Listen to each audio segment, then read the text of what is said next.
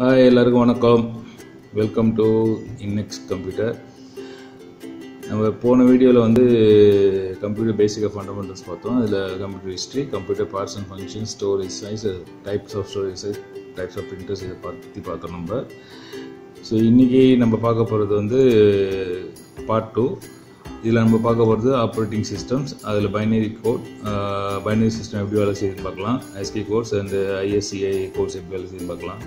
Types of computer operating systems types of Microsoft Office versions எத்தனை இருக்குது பார்க்கலாம். பேசிக் shortcuts வந்து நம்ம என்னென்ன ஷார்ட்கட்ஸ் இருக்குன்னு ஒரு ஓவராலாக பார்க்கலாம். ஸோ ஆப்ரேட்டிங் சிஸ்டமில் வந்து எப்படி ஒர்க் ஆகும்னா ஒரு யூசர் இருக்காங்க. ஸோ யூசர் வந்து ஒரு சாஃப்ட்வேர் அப்டேட் பண்ணுறாங்கன்னா அந்த சாஃப்ட்வேர் எங்கே போகும்னா நேராக ஆப்ரேட்டிங் சிஸ்டம் மூலியமாக தான் போகும். ஸோ சாஃப்ட்வேர் ரெண்டு அப்ளிகேஷன் சாஃப்ட்வேர்ஸ் எதுவாக இருந்தாலும் எத்தனை யூஸ் இருக்காங்களோ அவங்களோட ரெக்குவயர்மெண்ட் தகுந்த மாதிரி ஆப்ரேட்டிங் சிஸ்டம் வந்து ஜென்ரேட் பண்ணும். ஸோ ஆப்ரேட்டிங் சிஸ்டம் எங்கே போய் ஒரு கமாண்ட் கொடுக்கணும்னா சிபியூ ரேம் ஐஓ யூனிட் அதான் input unit input output device போய் இன்ஃபார்ம் பண்ணோம். ஸோ அதை பேஸ் பண்ணி ஒரு ரொட்டீன் ரொட்டீனாக வந்து user soft system software operating system CPU RAM input output இதை பேஸ் பண்ணி ஆப்ரேட்டிங் சிஸ்டம் ஒர்க் பண்ணும். இதில் வந்து ஆப்ரேட்டிங் சிஸ்டம்க்கு வந்து முக்கியமான பார்ட் வந்து பைனரி சிஸ்டம் பைனரி சிஸ்டம் பார்த்தீங்கன்னா only two digit zero one one already போன சப்ஜெக்டில் வந்து சொல்லியிருப்பேன் நான். ஜீரோ ஒன் ஒன்றது வந்து on and off so zero இருந்துச்சுன்னா உங்களுக்கு வந்து ஆஃப் காமிக்கும். ஸோ எலக்ட்ரிசிட்டி வந்து ஃப்ளோ பண்ணாது. ஒன்றுனா வந்து உங்களுக்கு எலக்ட்ரிசிட்டி ஃப்ளோ பண்ணும். So system will be on so உங்களுக்கு பார்த்தீங்கன்னா ஜீரோ ஒன் ஒன் பேஸ் பண்ணி தான் மைக்ரோசிப் எலக்ட்ரானிக் டிவைஸ் எல்லாமே ஒர்க் பண்ணிகிட்டு இருக்கு. ஸோ கம்ப்யூட்டர் பேஸ் பண்ண பொறுத்த வரைக்கும் ஜீரோ ஒன் ஒன் மட்டும்தான் அதுக்கு அந்த நியூமெரிக்கல் கோட் மட்டும்தான் தெரியும். ஸோ அடுத்து பார்த்தீங்கன்னா உங்களுக்கு அது ஒரு- ஒரு இமேஜ் கொடுத்துருக்கேன்.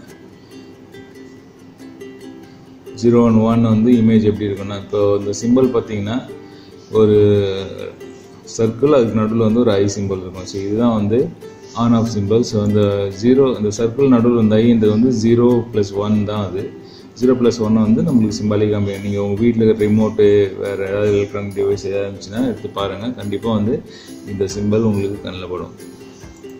அடுத்து எஸ்கி கோட் எஸ்கி கோடில் ஸ்டாண்ட்ஸ் பார்த்தீங்கன்னா American standard code for information interchange இது வந்து ஒரு செவன் பிட் கேரக்டர்ஸ் தான் ஒர்க் ஆகும். எஸ்கி கோடில் பார்த்தீங்கன்னா பைனரி கேரக்டர்ஸ் டேபிள் நான் உங்களுக்கு ஒரு எக்ஸாம்பிள் கொடுத்துருக்கேன். ஸோ இது வந்து ஸ்மால் லெட்டரி கேப் லெட்டரி ரெண்டுத்துக்குமே வந்து பைனரி டு டெசிமல் கன்வெர்ட் பண்ணிடுவாங்க எஸ்பி கோடை ஸோ அதை எப்படி பண்ணுறதுன்றது நான் உங்களுக்கு எக்ஸ்பிளைன் பண்ணுறேன் ஸோ ஒரு ஏனா ஸ்மால் லெட்டர் ஏனா zero ninety seven capital letter ஏனா ஜீரோ சிக்ஸ்டி ஃபைவ் அந்தமாரி வரணும். பக்கத்தில் பைனரி நம்பர்ஸ் இருக்கு பாருங்கள் ஸோ இது பைன எஸ்கி கோடு வந்து ஒரு செவன் பிட் பிட்டில் தான் வேலை செய்யும். ஸோ ஆஸ்கி கோடு வந்து உங்களுக்கு ஒரு எக்ஸாம்பிளுக்கு கேபிட்டல் ஏவோட பிட் போட்டிருக்கேன் உங்களுக்கு. ஸோ இது ஒரு செவன் பிட் சிஸ்டம் இது. இப்போ டூ பவர் ஜீரோ பார்த்தீங்கன்னா two into multiplication of zero வந்து ஒன் வரும். Two into multiplication of two one வந்து டூ வரும். டூ இன்ட்டு டூ வந்து ஃபோர் அதுமாரி டூ இன்ட்டு பவர் சிக்ஸ் வரைக்கும் சிக்ஸ்டி ஃபோர் வரும். ஸோ பார்த்தீங்கன்னா ஒரு ஏஐக்கு வந்து தேவையான பிட் நம்பர் வந்து one zero zero zero zero zero one இதுதான் வந்து பைனரியோட நம்பர் ஸோ பைனரி நம்பர் நம்ம டெசிமலாக கன்வெர்ட் பண்ணும்போது பார்த்தீங்கன்னா உங்களுக்கு சிக்ஸ்டி ஃபைவ் கிடைக்கும். அப்போ வந்து ஒரு சிஸ்டமில் நம்ம கமெண்ட் கொடுக்கும்போது சிஸ்டம் எதை ஃபைன் பண்ணணும்னா இந்த பைனரி நம்பர் யூஸ் பண்ணி டெசிமலில் சிக்ஸ்டி ஃபைவ் வரும்போது ஜீரோ சிக்ஸ் ஃபைவ்ன்றது தான் வரும். ஜீரோ சிக்ஸ் ஃபைவ் வந்து ஏ வந்து கேபிட்டல் ஏன்னு அசைன் பண்ணணும். ஸோ இதான் மெத்தட் ஐஎஸ்சிஐஐ கோட் பார்த்தீங்கன்னா Indian script code for information interchange ISCII ஆஸ்பி கோடில் வந்து பார்த்தீங்கன்னா யூஎஸ் ஸ்டாண்டர்டில் இருக்கும். இது வந்து நம்ம இந்தியன் ஸ்டாண்டர்ட் இருக்குது ஸோ நம்ம இந்தியாவில் இருக்கிற லாங்குவேஜ்க்கு தகுந்த மாதிரி கோடிங் இருக்கும். ஸோ ஸோ இந்த ஐஎஸ்சிஐ கோடு பார்த்தீங்கன்னா ஒரு பத்து லாங்குவேஜுக்கு சப்போர்ட் பண்ணுது. நீங்கள் லிஸ்ட் பண்ணியிருக்கேன் பாருங்கள் அசாமிலேருந்து தெலுங்கு வரைக்கும் தமிழ் தெலுங்கு வரைக்கும் இருக்குது நைன்டீன் சிக்ஸ்டியில் பார்த்தீங்கன்னா இந்த எஸ்கி கோடை யூஸ் பண்ணி டெலகிராஃபிக்கு டெலிபிரிண்டிங் அண்டு சில கம்ப்யூட்டர் வேலைக்கு வந்து இது யூஸ் பண்ணாங்க. அதுக்கப்புறம் இது வந்து செவன் பீட்டை வந்து செவன் பீட்டை வந்து ஒன் டுவெண்ட்டி எயிட் கோர்ஸ் வந்து யூஸ் பண்ணாங்க. அதில் வந்து பார்த்திங்கன்னா ஒரு நைன்ட்டி ஃபைவ் கேரக்டர்ஸ் வந்து பிரிண்ட் பண்ணுற மாதிரி இருந்துச்சு. அதில் A to Z A small லெட்டரும் A to Z capital லெட்டரும் ஜீரோ டு நைன் இதெல்லாம் வந்து நம்ம ஒரு பிரிண்டிங் கேரக்டராக வச்சுருந்தாங்க. அதுக்கப்புறம் தேர்ட்டி அதை விட அது இல்லாமல் வந்து thirty three non printing code இருந்துச்சு.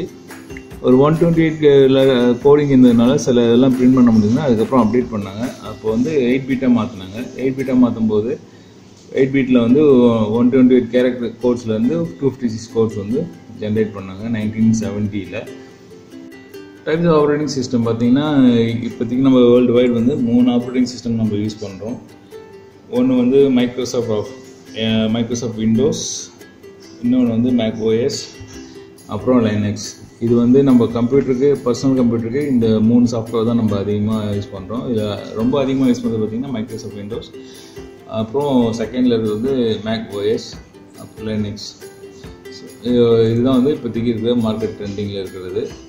ஸோ அது இல்லாமல் வந்து இது எல்லாமே வந்து இப்போ கையூ மோடில் வந்துச்சு. கையூ மோட்னா கிராஃபிக்ஸ் மோடில் வந்துச்சு.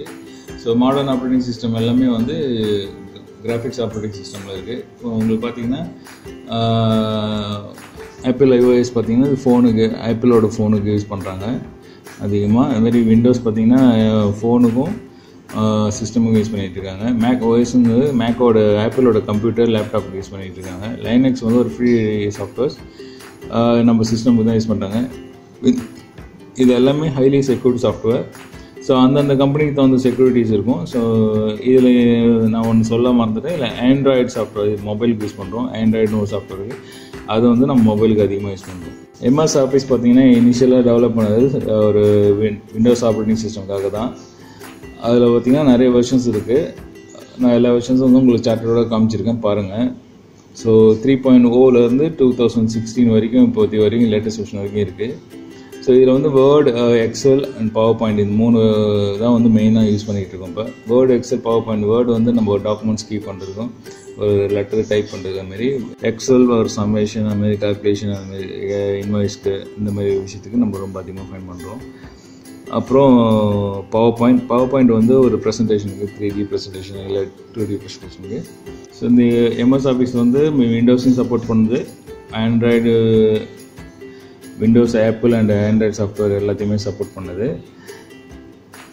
ஷார்ட்கட் கீஸ் பார்த்தீங்கன்னா ஆல் டேஃப் பார்த்தீங்கன்னா ஃபைல் மெனு அப்புறம் ஆல் டி e பார்த்தீங்கன்னா எடிட் பண்ணுறதுக்கு இதெல்லாமே ஷார்ட்கட் தான். நீங்கள் கீபோர்டில் பார்த்தீங்கன்னா ஆல்ட்டுன்னு அந்த மாதிரி ஏஎல்டின்னு இருக்கும்.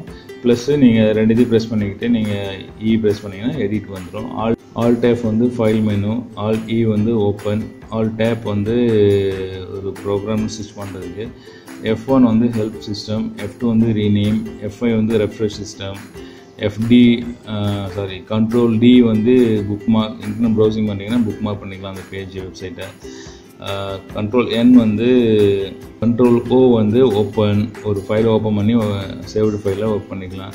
க கண்ட்ரோல் ஏ வந்து செலக்ட் ஆல் ஒரு டெக்ஸ்டோ இல்லை பேராகிராஃபோ இருக்குன்னா செலக்ட் ஆல் பண்ணிங்கன்னா அது ஃபுல்லாகவே செலக்ட் ஆகி நம்ம தேவையான அதுக்கு தகுந்த ஒர்க் பண்ணிக்கலாம்.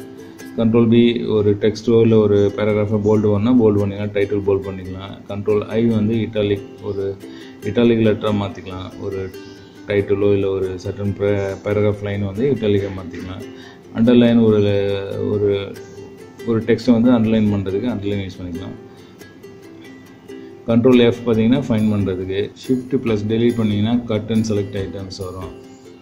ஸோ ஒரு டெலிட் ஷிஃப்ட் டெலிட் பண்ணிங்கன்னா ஃபுல்லாகவே டெலிட் ஆகிடும் ஸோ கண்ட்ரோல் சி பார்த்தீங்கன்னா copy paste copy control C வந்து காப்பி கண்ட்ரோல் இன்ஸ் வந்து பார்த்தீங்கன்னா இன்சர்ட் பண்ணுறதுக்கு ஐஎன்எஸ் இன்சர்ட்னு ஒரு கீ இருக்கும்.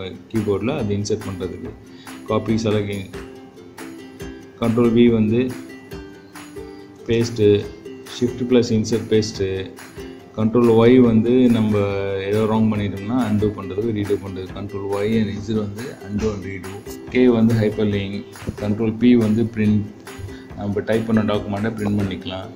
ஹோம் போகிறதுக்கு வந்து ஹோம் பட்டன் ப்ரெஸ் பண்ணிக்கலாம் ஒரு பெரிய பேராகிராஃப் இருக்குன்னா அந்த பேராகிராஃபுக்கு டாப்பில் போகிறதுக்கு ஹோம் ப்ரெஸ் பண்ணிங்கன்னா மேலே போயிடும். ஸோ அதுமாரி கண்ட்ரோல் ஹோம் கொடுத்திங்கன்னா பிகினிங் ஆஃப் த டாக்குமெண்ட்ஸ் போயிடும். எண்டு போகிறதுக்கு கண்ட்ரோலில் எண்டு இல்லை எண்டு கொடுத்திங்கன்னா எண்டுக்கு வந்து அவ்வளோதான் ஃப்ரெண்ட்ஸ் நீங்கள் இதே ஃப்ரெண்ட்ஸ் எல்லாம் சப்போர்ட் பண்ணுங்கள் சப்ஸ்கிரைப் பண்ணுங்கள் லைக் பண்ணுங்கள் புதுசாக பார்க்குறீங்கன்னா சப்ஸ்கிரைப் பண்ணிட்டு வீடியோ பாருங்கள் அப்போ தான் என்னோடய வீடியோ வந்து உங்களுக்கு கண்டினியூவாக கிடைக்கும். நீங்கள் எந்த அளவுக்கு லைக் பண்ணுறீங்களோ எந்த அளவுக்கு எனக்கு ஆதரவு கொடுக்குறீங்களோ நான் அந்த அளவுக்கு என்னோடய வீடியோஸ் எல்லாமே க்ரியேட் பண்ணுறேன் நான். உங்களுக்கும் ரீச் ஆகும். பக்கத்துக்கு பெல்லை ப்ரெஸ் பண்ணிங்கன்னா உங்களுக்கு ஈஸியாக ரீச் ஆகும். Thank you very much thank you